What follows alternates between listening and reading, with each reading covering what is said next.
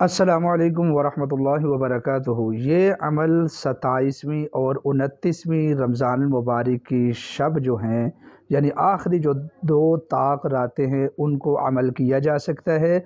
और इन अज़ीज़ इस अमल की बरकत से, सूरह मुजम्मिल का अमल दूँगा इन बड़ी खसूस इजाज़त के साथ। इस अमल की बरकत से हर किस्म की बंदिश, रुकावट आपकी ज़िंदगी से ख़त्म हो जाएगी। जिन लोगों की जॉब का मसला है, कारोबार का मसला है, वो भी हल हो जाएगा इन शादी की जिनकी बंदिश है, शादी वाले मामला तय नहीं होते हैं। इन रब करीम करम फरमाएँगे, शादी वाला मामला भी तय हो जाएगा। सिर्फ़ दो रातों में ये सूरह मुजम्मिल का आपने ये अमल करना है। इन वीडियो को शुरू से आखिर तक देखें, ये वीडियो इन आपकी ज़िंदगी बदल देगी। मुस्ंद इस्लामिक वज़ाइफ के लिए रूहानी टी वी मौलाना अनीस को सब्सक्राइब करें। रूहानी टी वी मौलाना अनीस।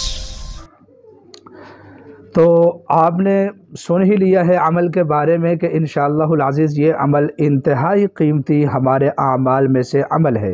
सूरह मुजम्मिल का ये अमल है, अल्लाह के फ़ज़ल करम से इन अज़ीज़, अल्लाह की मेहरबानी से ये इस अमल की बरकत से हर किस्म की बंदिश और रुकावट ख़त्म हो जाएगी।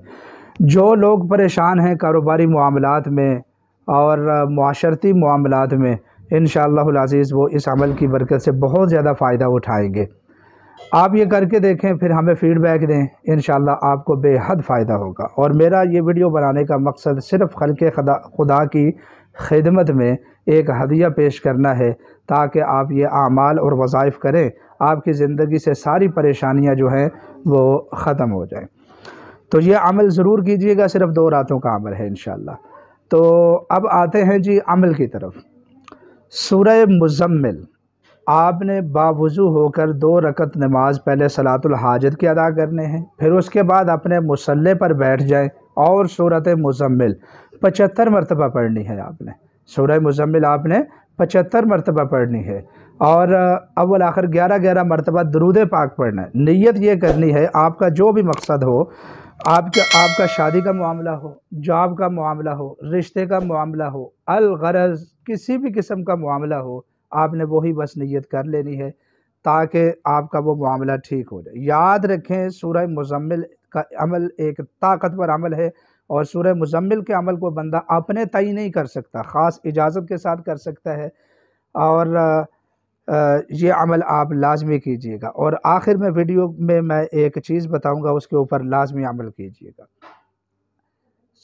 सूरह मुजम्मिल को पचहत्तर मरतबा पढ़ें, अव्वल, आखिर ग्यारह ग्यारह मरतबा दरूद पाक पढ़ें और आखिर में अपने मकसद के लिए दुआ करें, नीयत ये करें कि अल्लाह, इस अमल की बरकत से मेरा ये काम जो है हल हो जाए, जादू टूना ख़त्म हो जाए, आसेब, हर चीज़ अल्लाह, ख़त्म हो जाए, बंदिशें, रुकावटें ख़त्म हो जाए, मेरे रिज़क में बरकत आ जाए। रिश्ता वाला मामला है, रिश्ता तय हो जाए।